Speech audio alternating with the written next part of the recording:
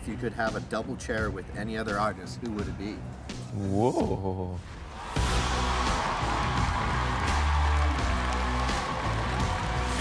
Kelly Clarkson. Kelly Clarkson is an amazing vocalist, of course, great voice coach, and we often went head to head on choices, which means we would turn for similar artists. I turned very early for you. What, I, what do you mean very early? What I is would- that? What, we I- both turned I would argue that I turned right before Kelly. like it was a close. millisecond, maybe. So I'm gonna say I would team up with Kelly.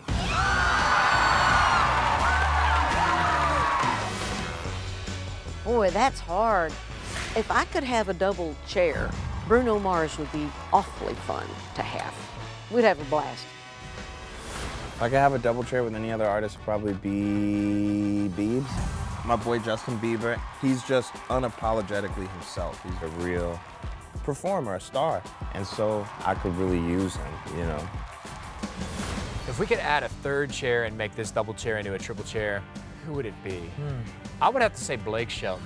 You guys are the first artist I think I ever really mentored. 10 times crazier tour. He's won The Voice more times than any other coach. I mean, he is the GOAT on The Voice. This was his old chair. He's a big guy. I don't know if you've ever met him in person, but I think he's about 7'5", I believe. This is Shay. I can't even see the top of your head. It would be Team Dan and Shay plus Blake. Can I can I redo the uh, chair? Niall and I would be like two little kids. Sorry, Reba, say that again. Look at these kids. What's going on here? We would, have, we would have so much fun together. She's I am your the button. queen. You cannot speak. if I could have a double chair, I think I'd want Niall beside me.